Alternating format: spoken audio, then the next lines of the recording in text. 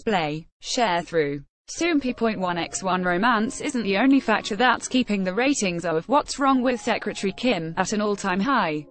The revealing storyline of episode 10 played a huge part in boosting the number of viewers for this drama.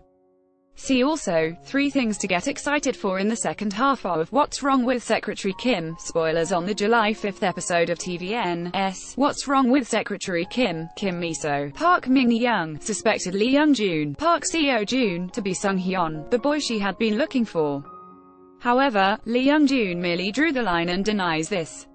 Soompi. Display, News. English .300x250, BTF Soompi.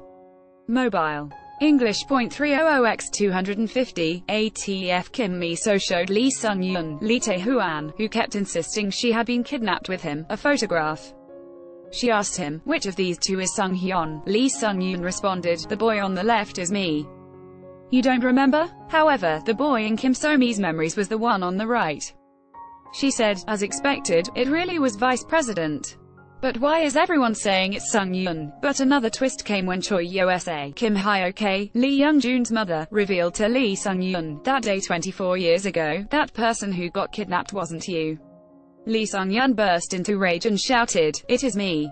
At the same time, Kim Miso was watching a magic show due to work-related reasons. As she watched a female model with long black hair and high heels, she remembered the woman who had kidnapped her and became distraught with confusion.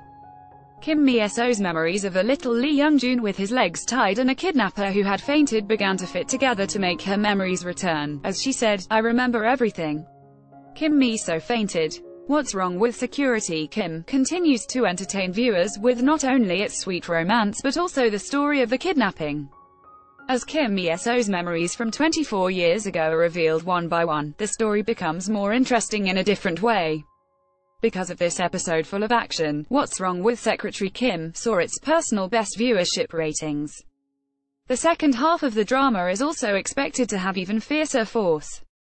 What's Wrong with Secretary Kim airs every Wednesday and Thursday at 9.30 p.m. KST. If you haven't yet, began watching the drama below. Viki is also offering a 40% off sale for early access and ad-free HD viewing of What's Wrong with Secretary Kim. You can learn more here. Source 1